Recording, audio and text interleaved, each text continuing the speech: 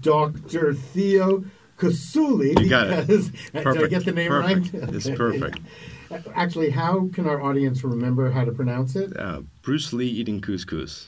Right, so there's the image for everyone. We have Bruce Lee eating couscous. So that actually is going to go through my head now forever. And he is a healer, chiropractor, and author.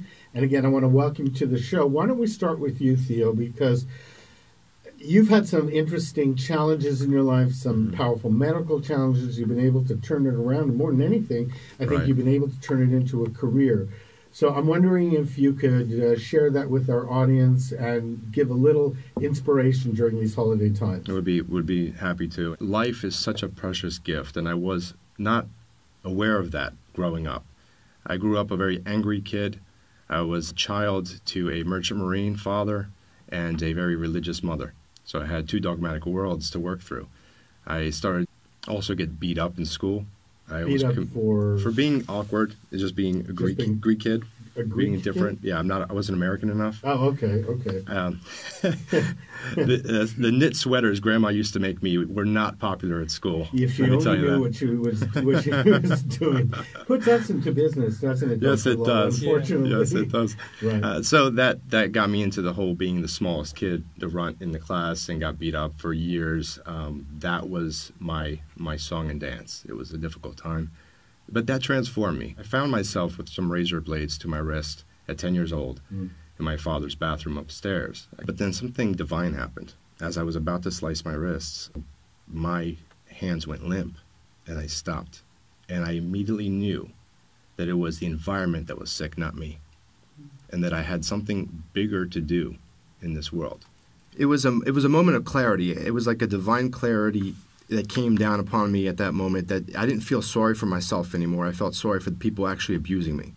You know, I love what you said when you said it's the environment that has the issue. It wasn't me, and that's such a powerful place to be in our lives to realize that there's a lot of issues going on in this world that we're not necessarily responsible for. I was I was lucky to have the epiphany at ten, though. I mean, the the torment continued. I mean, every day at three o'clock after school Right. was a hard attempt. After that, I was semi-paralyzed in a you, pool Shannon. accident. That was that was a scary thing when someone turned my neck in, in an inappropriate way. And then so the semi-paralysis scared me enough to go into chiropractic and get my life back.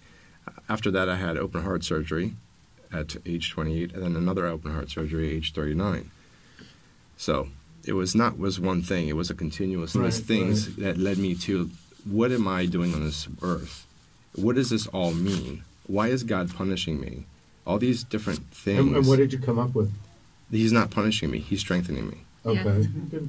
He's- Turn that anxiety to something positive. How do you actually deal with that anxiety? Right. So why don't we go around Theo and then Well, I Lisa? teach I teach my students and also my patients how to do this and transmutate the energy, any energy that's Okay. negative, and transform into their basically their superhuman version of themselves. And I do that through the Be a Master uh, website and uh, beamaster.com, which is my uh, seminar, and I teach on different various topics. Uh, but you have to have a internal strength, and you have to find that internal strength with faith, belief, uh, also in a higher Right, power, exactly but also also with about, right. yourself as Right. well, and know that you are connected, and you are connected to this huge network of energy that you are. Yeah, And I think it's so important too to realize that we're not alone, and that's what I want people to hear over the holidays. That we're all sharing, that we all have a commonality, and Yes, the Um, story. We all have a the way story. to attach and connect is so Yeah. important during this time. Yes. Sure, go ahead, uh, Theo. Sure. Polly, thank you for your call. Uh, the, the Kousouli method is a four part system of removing what the body doesn't need, reconnecting the nervous system, rebuilding the body tissues, and then resetting the mind through hypnosis and other uh, proprietary areas of, of expertise.